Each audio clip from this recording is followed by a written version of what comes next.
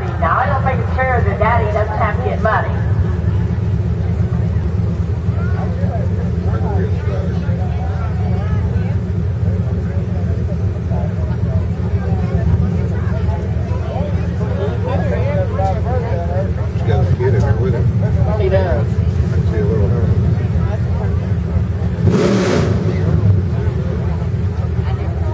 Thank you.